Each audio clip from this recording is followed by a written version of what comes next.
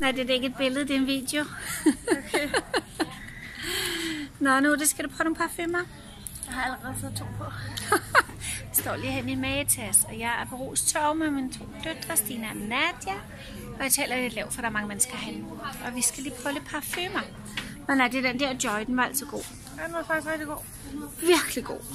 Det var den her over. Sådan et vand. Baggrunden af den her er fantastisk. Hvad er det, du gerne vil, Stina? Det er den her, jeg gerne vil have. Koster den? 290. Ja, men det er også Chanel. Men det er også den anden, den her. Jeg synes, det er en dårlig idé at købe den. Nå. Hvorfor det? Hvor Det vil jeg ikke sige. Det må man... Jeg... Okay, jo. Du skal ikke købe din læbestift, vel? Nu skal du vente. Stina? I am Santa Claus, ved du ikke det? Jo, men hvordan ved du, hvilken farve det var? Stine, du må vente til på lørdag, du skal passe børn. Der er nogle gaver til dig der, så du skal ikke gå ud og købe det, du ønsker dig. Det kan jo være, at din mor har købt det til dig. Hvad siger du? Så flot, de begynder at lave det i alle mulige farver. Ej, det er flotte, Nadja. Ej, det har jeg altså ikke set før. Og prøv at se, jeg sidder her en morgen for at prøve at lave De dem er også her. begyndt at lave det i normalt. Og prøv at se, Nadja, det er helt ud over det hele. Jeg synes, det er flot. Og min morgen blev helt stresset, fordi at jeg ikke kunne tage bukser på selv, når jeg havde lakeret nej, så Thomas måtte hjælpe mig med at tage bukser på. Nå, det er heller ikke sjovt. Nej, det var ikke sjovt. til 10 dage, det her. Ej, dem kunne jeg altså godt finde på at købe en dag. Hvad koster det? 100 kroner. De er flotte, Det er også nogle rigtig flotte, vi normalt jeg har lavet for mig selv. De er bare meget lange, så dem skal jeg bruge lang tid på at file, ikke? Ja. Jeg kan også godt lide de her. Jeg tror, jeg, jeg håber, det var sådan lidt for, nu må vi se. Du må ikke sige det, du ved det ikke. Du ved, hvilken farve det var. Du må vente på lørdag og se, hvad du får i gave, når du skal passe børnene. Men lad være at gå og købe alt det, du ønsker dig. og der, der står faktisk, at der er en fjernstyret æderkop. Og det er lidt sjovt, ikke? Åh, det er lidt sjovt. Og det er nogle store knaller. Hvor oh, ja, det er store. Hold da op. Det er sjovt, ikke? Jo. Jeg har også købt lidt halloween slik. Ej, hvor sjovt. Så bliver pigerne så happy. Sofia især, hun elsker sådan noget. Jeg synes, at I se den her, og så tænker jeg, okay, det er ikke så godt. Thomas elsker Eva. Ej, det skal vi ikke have. Jeg så, der stod Thomas, og så tænkte jeg, okay. Thomas elsker kun mig. Mor, hvorfor? Ej, Hvad, med, hvad er det, du godt kan lide af bad bad? man kan ikke tage noget på sig selv. Ej, er det, er det gode der? Jo. Hvad er det for noget? Det er dig, der givet dem på. Ej, Han bruger til to dage træk, og han ikke få min selv. har du givet ham en maske. Ej, jeg er altså helt vild med din taske. Er du? Ja. Må lige se den igen? Jeg troede, du synes, den var grim. Ej, den er da så smart. Hvad er du det mærke hedder, siger du? Fendi. Sejt. Trendy. Nå, trendy. Nej, Fendi.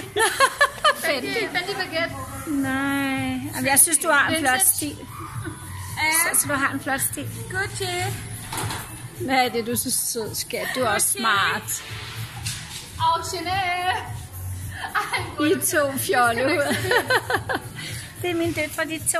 Og de er så dejlige, og de er så forskellige som nat og dag. De er mine, begge to. Ikke? Så er vi lige inde i denne her skuforretning, som vi altid kommer ind, når vi bruger tog. Er det Dreismann, den hedder Nadia? Dreismann. Ej, hvornår lærer jeg at sige det rigtigt? Hvad er den hedder, Stina? Reichmann. Dreismann. Ich. Ich. Hej til Stine. Ej, Stine.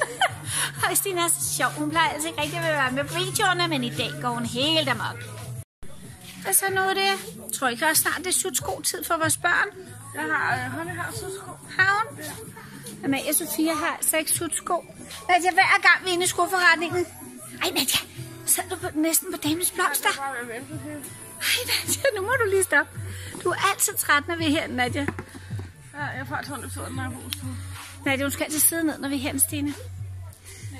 Jeg mangler faktisk nogle sutsko til Amalie og Sofia.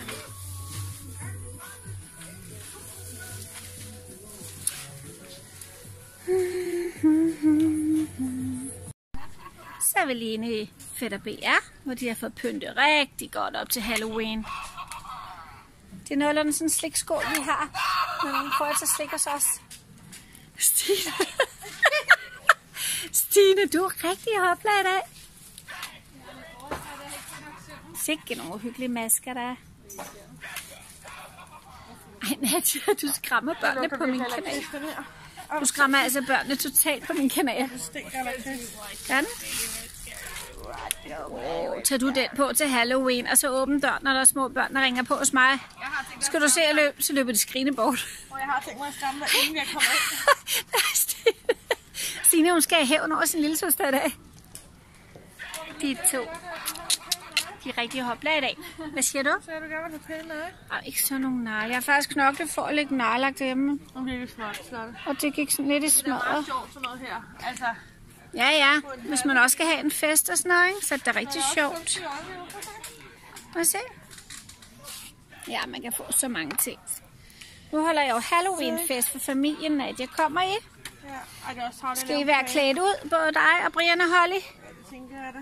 Hvad med dig, Stine? Klæder du dig ud til min Halloween-fest? Måske. Det gør hun da.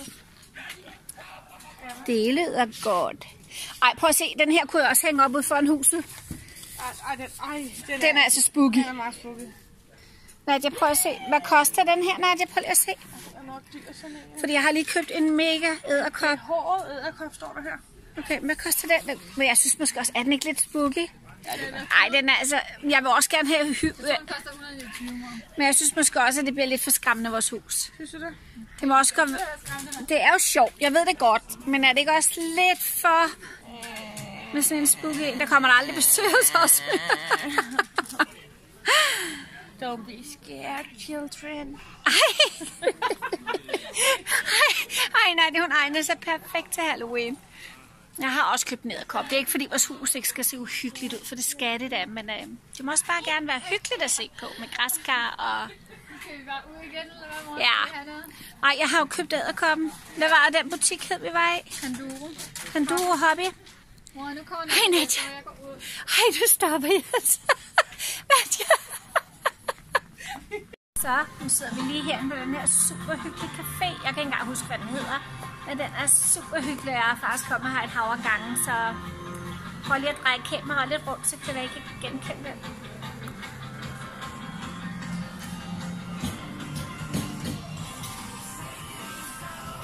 Stine, hvad er caféen hedder? Og det her i dag, ikke mor? Den hedder Piece of Cake. Den hedder Piece of Cake. Ja, så den bare lige herinde, så sidder jeg også der. Må jeg godt gøre det? Det? Hvad er det for noget? Nu er jeg lidt i en af dem. Parfume? Det er fløjt i den her. Hvad er den her forretning hedder, Nadia? Produkt, det er den her, jeg altid bruger, mor. Det er den her til tasken produkt. Det er den her, jeg altid bruger. Jeg elsker den.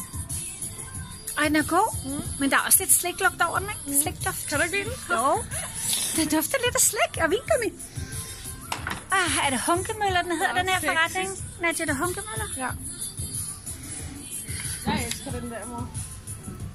Jeg kan altså bedre lide den der Joy inde i uh, Matas. Kan du lide den parfume? Jo, jeg kan godt lide den skat, men den klæder dig bedre. Der kan godt være forskel på, hvem der bærer parfumen.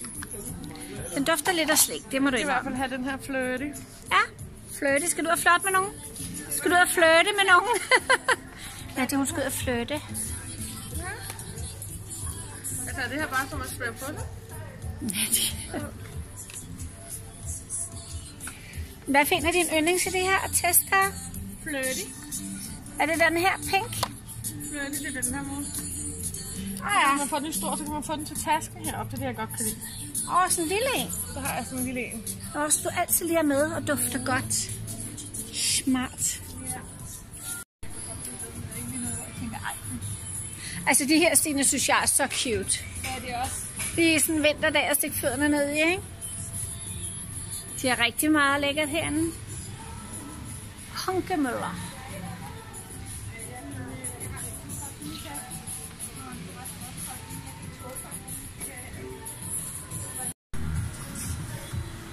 Hvor er Stine hen? Og hun er inde og prøve tøj. Nu er det. Vil du godt prøve noget tøj for mig? Gider du ikke at træt? Ja. Har du ondt i benene? Jeg må holde fødderne, mor. Ja, men det er hver gang, du har de støvler på. Nadia, skal vi ikke lige se denne her? Og det er en cardigan, den minder lidt om den, jeg lige har fået. Ej, Nadia, du er træt. Altså, Nadia, hun når bare et punkt, så bliver hun rigtig, rigtig, rigtig Så træt. fordi jeg elsker at shoppe, men Synes du, at jeg er en, der shopper lang tid? Nej. Nej, det er altså ikke, skal. Så ser vi lige på café igen. Nu er vi lige på Vivaldi.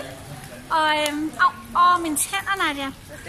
Jeg gav mig selv en flad, fordi jeg skulle hive op i min BH-strop, og så knalde lige op i tænderne. Nej, men øh, hvis du går ind og bestiller noget cola til os, så kan vi så hygge på Vivaldi, fordi nu er øh, Stine inde og prøve tøj. Ja. Så kan vi da få noget koldt at drikke imens. Det kan godt tage sin tid, at Stine prøver tøj, så, øh, så er det godt, der er masser af caféer. Hvad så nu er det? Næste café. Er ja, du vil helst kun have vand, ikke Stine? Jo. Tak. Så går jeg lige og tisser. Tak, mor. Tak, mor. Det var så let.